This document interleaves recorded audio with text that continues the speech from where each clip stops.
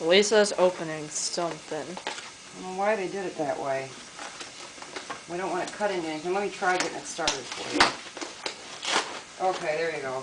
Now you can do it.